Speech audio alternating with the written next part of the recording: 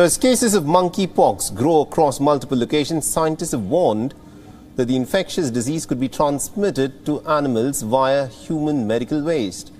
Now, the monkeypox outbreak in predominantly Europe and in North America has left scientists very puzzled over the reasons of this spread, as most of the cases earlier had been reported in certain parts of Africa.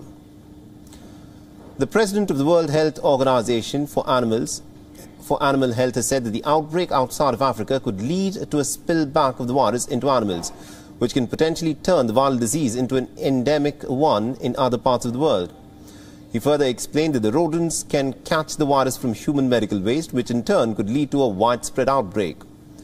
According to experts, monkeypox initially jumped to humans from animals as it was first discovered in laboratory monkeys back in 1958 and since then various animal species including squirrels and rats have been identified as susceptible to it.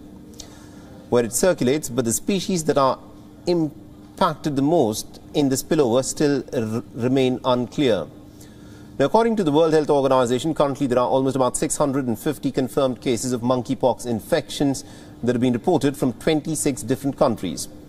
Now, the map on your screen shows the countries that have the maximum number of cases, and these include places such as the United Kingdom, Spain, Portugal, the Netherlands and Germany. Now, the virus was first discovered in humans back in 1970 and has been sporadic in certain African na nations such as in Nigeria. There's been an on ongoing outbreak since 2017.